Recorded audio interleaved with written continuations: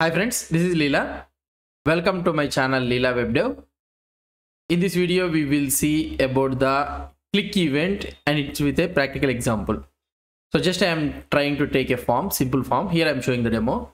And here if I try to add Leela and I want to have a cat means if I click on the save, I want to get a message something like, Hi Leela, can I have your cat? So this is the mm, thing which we want to do it using the event listeners and the sample code here I have written is this one. So let's try to write it from first onwards. Okay, so we have understood the requirement. So let's try to write HTML. And here first we need to have the name. So let's take div. Here I can have label. So ID, sorry, not ID for this one, name. I want to write the name. And we can have an input element type is equal to text and id is equal to name so this is the name and we can have another one div and label favorite animal or anything favorite animal. And we'll be having an input not input this time we'll take the select box. Select. And id is equal to animal. And we'll have let's keep the three options. Option value dog. And here i can have dog another one is cat. Another one is parrot. So here also we need to change it to dog a cat and a parrot. Okay? So at the final we can have a button. So here i can have button. Id is equal to button. We can also have a form. We'll try to learn one by one. So here we can have save or anything whichever the name if you want to see the output for this one the same output you will be able to see the same output. Now if i try to write something here and if i click on the save i need to uh, grasp the i need to catch these all the values whatever the user has selected and i need to show it at the bottom. So for this one what i can do?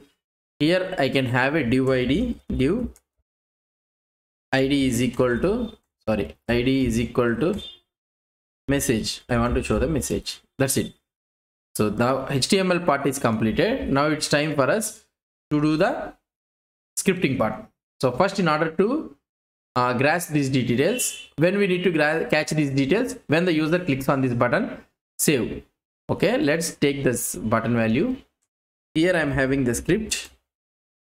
So let button is equal to document dot get element get element by id of button. So i so i got the button element.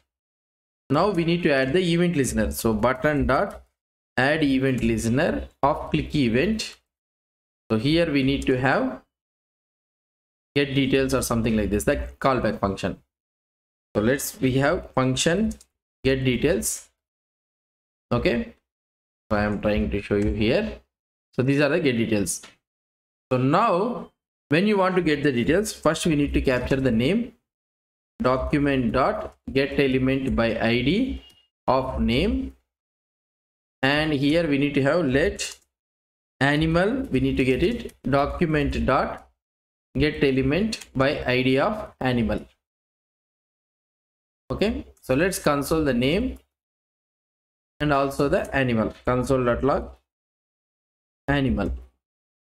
Let's see the output here if you click here and if you try to select the uh, write the values what are the values click on save. So we are getting the elements. Instead of getting the elements we need to get the value. So i have told you the two ways of uh, getting the values. That is one way is uh, uh, using the get attribute of value and another one is using the dom method that is nothing but dot value. And i also told you the difference between those two. So get attribute of value gives you the default value whereas the dot value gives you the live value. So whatever the changed value will be having. So here i can use dot value instead of getting the element i can get dot value. Here also i will use dot value. Now let's see whether we can able to see the output or not. If i click on here and i will write something and i click on save. See now we are able to get the exact value. Whatever the value? The user has selected we are able to get it. Now what i want to do here? So now i need to take those values and i need to highlight it in the message. So for this one first let's capture the message. Element document dot get element by id of message. Oh sorry. Message. We got the element. Now message dot text content is equal to so what we can do here? I can write i so dollar name can i have your animal? Right? So just just i am writing some framing some sentence. So that's it. Now if you try to see the output refresh it and click here Leela. And I can have cat or something like this. Click. Hi Leela can I have your cat? See?